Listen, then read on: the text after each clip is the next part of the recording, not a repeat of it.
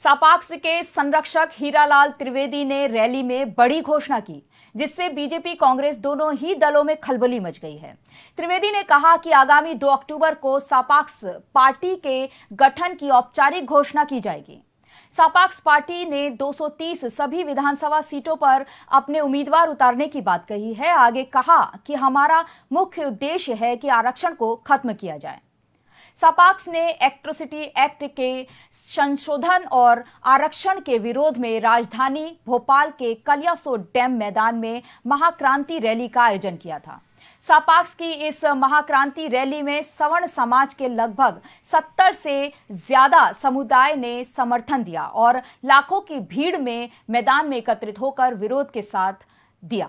बता दें कि रैली के समर्थन में करणी सेना, ब्राह्मण सभा, परशुराम सेना, क्षत्रिय महासभा, राजपूत सेना सहित कई संगठन के समर्थन प्राप्त हुए। सपाक्स के हीरालाल त्रिवेदी ने सभी पार्टियों पर तंज कसते हुए कहा कि आरक्षण और एक्ट्रोसिटी एक्ट में सवर्ण जातियों को निशाना बनाया जा रहा है। त्रिवेदी ने बड़ा ऐलान करते हुए कहा कि सापाक्स मध्य प्रदेश में सभी 230 विधानसभा सीटों पर अपने उम्मीदवार उतारेगी। लगभग इक्यावन जिलों से आए सापाक्स के कार्यकर्ताओं ने सापाक्स और हम हैं माई के लाल की टोपी पहनकर मुख्यमंत्री शिवराज सिंह चौहान के आरक्षण पर दिए बयानों का विरोध दर्ज कराया। त्रिवेदी ने सरकार की व्यवस्था पर यह कहकर सवालिया निशान खड़ा किया कि जन्म से लेकर मरने तक आरक्षण की व्यवस्था कहाँ तक सही है? वहीं राजपूत करणी सेना के प्रमुख लोकेंद्र सिंह कालवी ने सरकार पर तीखे प्रहार करते हुए कहा कि जो सवर्णों की बात नहीं करेगा, वो सत्ता पर राज नहीं करेगा। जातिगत आरक्षण और एक्ट्रोसिटी एक्ट के खिलाफ मैदान खचाखच भर रहा। भरा रहा, वहीं कुछ संगठन के लोगों ने काले कपड़े पहनकर भी विरोध का समर्थन किया। वहीं दूसरी ओर, सरकार ने जैमर लगाकर इंटरनेट सेवा ठप की। बताया जा रहा है, ट्रेनों का रूट बदला गया। जगह जगह बसें रोकी गई, ताकि सापाक्स कार्यकर्ता महाक्रांति रैली में शामिल न हो सके।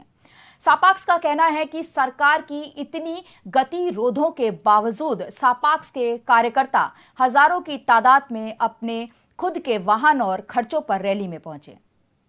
ये स्पष्ट का प्रोग्राम भोपाल में हो रहा है, ये एस सी कानून के विरोध में हो रहा है। उसकी धाराओं में आईपीसी में चेंज किया जाए। हमें ऐसा कानून नहीं चाहिए, बगैर जाँच के गिरफ्तारियों और आर्थिक आधार पर आरक्षण के लिए लड़ रहे हैं। दलित हमारे पहले भी भाई थे, आगे भी हैं। दलितों से हमें कोई बैर नहीं, पर केंद्र सरकार वोट बैंक के लिए भाई से भाई को लड़ा रहे हैं, इसका विरोध करते हैं। इस वक्त हम मौजूद हैं कलिया से मैदान पर, जहाँ सपाक्स की भीड़ देखने को मिल रही है। काफ़ी संख्या में भीड़ है। आइए, हम बात करते हैं सपाक्स के कार्यकर्ताओं से। जी, क्या कहना है आपका? किस लिए आज जो सपाक्स का क्रांति रैली और सभा का आयोजन भोपाल में किया गया है, इसमें पूरे प्रदेश से लाखों सपाक्स के कार्यकर्ता और हमारे सपाक्स के सक्रिय प्रदेश के कोने कोने से यहाँ एकत्रित हुए हैं, जिसमें हमारे इंदौर संभाग से हम लोग पूरा सातों जिलों से यहाँ कम से कम पचास हज़ार के करीब लोग यहाँ एकत्रित हुए हैं। मध्य प्रदेश शासन तथा केंद्र शासन के द्वारा जो एट्रोसिटी एक्ट में परिवर्तन किया गया, साथ ही प्रमोशन में आरक्षण का जो मुद्दा हमारा वर्षों से चल रहा था, उस मुद्दे को उनके द्वारा निराकृत न करते हुए सुप्रीम कोर्ट और इसमें उलझाने के कारण आज पूरे प्रदेश में सवर्ण, अल्पसंख्यक एवं पिछड़े वर्ग के लोग प्रताड़ित है। माननीय मुख्यमंत्री जी के द्वारा अभी तक इसका निराकरण नहीं किया गया है। वही आक्रोश के रूप में यह प्रकट हो रहा है। यदि इसका समय रहते ध्यान नहीं दिया तो आगामी चुनाव में उनको परिणाम भुगतना होगा।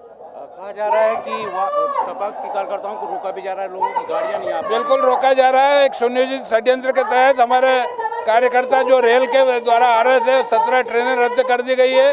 रास्ते में भी उनको रोकने का प्रयास किया जा रहा है। उसके बाद भी लोग रास्ता बदल करके यहाँ पहुँच रहे हैं। ये थे हमारे साथ सपाक्ष के कार्यकर्ता जिन्होंने आरोप लगाया। मुख्यमंत्री शिवराज सिंह चौहान के ऊपर कि उनकी गाड़ियाँ रोकी जा रही है और एक्ट और प्रमोशन में आरक्षण को लेकर जो भी बंदिशें लगाई जा रही हैं, वो गलत है। इस वक्त हम मौजूद है भोपाल के कलिया से डैम के मैदान में, जहाँ सपास कार्यकर्ताओं की लाखों की भीड़ दिख रही है। आइए हम बात करते हैं। देखिए, आप पीछे देख सकते हैं कि काफ़ी भीड़ में ये महिलाएँ इकट्ठा है। सपास कार्यकर्ता एट्रोसिटी एक्ट और प्रमोशन में आरक्षण को लेकर यहाँ एकत्रित हुए हैं, जहाँ महिलाओं के साथ साथ करणी सेना करणी सेना, ब्राह्मण सभा, परशुराम सभा सभी ने इसमें साथ दिया है। आप देख सकते हैं, भीड़ को काफ़ी संख्या में लोग एकत्रित हुए हैं। लोग ये राजनीतिक भीड़ नहीं कहा जा सकती, फिर भी लोग अपनी स्वेच्छा से सभी जगह से आए यहाँ बोला जा रहा है कि जैमर भी लगाए गए हैं नेट प्रोटेक्शन के लिए, नेट से ताकि चीज़ें बढ़ाई ना जा सकी, आप देख सकते हैं। मैम, आइए हम बात करते हैं, मैडम। किस लिए आप यहाँ एकत्रित हुई हम लोग आरक्षण के विरोध में आए हैं और जो ये चल रहा है S T S C act, उसके विरोध में। माननीय मोदी जी से ये कहना चाहते हैं कि आर्थिक नीति के आधार पे आरक्षण को बेस किया जाए और जो S C F T act है कि बिना सोचे समझे किसी को भी जेल में डाल दिया जाए। ये अनैतिक है इसको चेंज किया जाए। बस हाथ सोच से उनसे ये विनती है।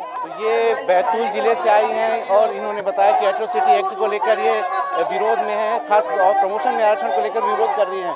आइए हम बात करते हैं दूसरे। आप आप कहाँ से आई ग्वालियर से आए आप किस लिए यहाँ पे हैं? आज हम सपाक की महाक्रांति में आए और आज हम यहाँ से आगाज़ कर रहे हैं भोपाल से। हम हैं माई लाल और हम शिवराज सरकार, जो भी आरक्षण विरोधी और एस सी एस लेकर आई उन पार्टियों को उखाड़ फेंकेंगे। और ये एक महाक्रांति है, आज आप देख सकते हैं। इतनी धूप होने के बाद भी आज यहाँ पे महिलाओं का, पुरुषों का जो सैलाब उमड़ा है, ये संकेत देता है कि अब अब प्रदेश में सपा की सरकार होगी। तो इनका साफ़ कहना है, जो शिवराज सिंह चौहान मध्य प्रदेश के मुख्यमंत्री शिवराज सिंह चौहान ने जो माई के लाल वर्ड का यूज़ किया था, वो लोगों को आघात पहुँचा रहा है। सपाक्स जो कि सवर्ण और पिछड़ा वर्ग अल्पसंख्यक एकत्रित हुए हैं, उन्होंने इसका विरोध करने के लिए कलियासेट डैम मैदान को चूज़ किया है। आइए और भी बात करते हैं, हम क्या कहना है लोगों का? आप बताइए। जी, मैं ये कहना चाहूँगा, जो भाजपा सरकार ने हम सामान्य और पिछड़ा वर्गों को और अल्पसंख्यकों के साथ जो अन्याय किया है, सर्वोच्च न्यायालय का जो काला कानून को बदलने का जो दुस्साहस किया है, इसलिए और हम उनको ये कहना चाहते हैं कि आगामी विधानसभा में हम मामा तेरा अंत करने वाले हम माई के लाल हैं। मामा, हम तेरा अंत करने वाले हैं। हम माइक लाले बीजेपी सरकार के खिलाफ ये नारेबाजी हो रही है। साथ ही कांग्रेस ने जो साथ नहीं दिया है सपाक्स का, उसके खिलाफ भी नारेबाजी रही। आइए अब हम अगली तो बात करते हैं, देखते हैं क्या बोल रहा है। आप बताइए। हेमा हेमाशी चौहान, राजपूत समाज जिला अध्यक्ष क्षत्रिय महासभा से बैतूल से बोल रही हूँ। और मैं ये बताना चाहती हूँ कि हमारा अन्य एस सी से कोई झगड़ा नहीं। हम तो सब भाई भाई लोग हैं, लेकिन कुछ देश के नेता हैं जो हमें लड़ाना चाहते हैं। हम भाई भाइयों को, हमारे भारत देश को के टुकड़े कर करके ये अपने घर भरना चाहते हैं। बस हम और ये हम सरकार से बता देना चाहते हैं कि लाखों रुपए यदि एस सी को कानून को देगी लड़ने के लिए तो हम एक एक रुपए इकट्ठा एक एक लाख रुपए के बराबर होगा। हम सौट समाज पिछड़ा वर्ग का और हम यही कहना चाहते हैं जता देना चाहते हैं कि अभी भी समय है सरकार सुधर जाए। और सभी को यदि खून लाल बताती है तो एक ही तौल में तोलना शुरू करेगी। सरकार अभी भी सरकार अभी भी संभल जाए, लोगों का कहना है कि हम आपस में नहीं लड़ना चाहते, लेकिन ये बीजेपी ये जो नेता होते हैं, जो बीजेपी सरकार और कांग्रेस की सरकारें हैं, जो नेतागिरी चलती है, उसके साथ लोगों को लड़ा, लोगों को लड़ाया जाता है। खून एक है, रंग एक है, फिर कैसा भेदभाव? कैमरामैन तरुण यादव के साथ सत्यम शर्मा, दखल न्यूज़, भोपाल।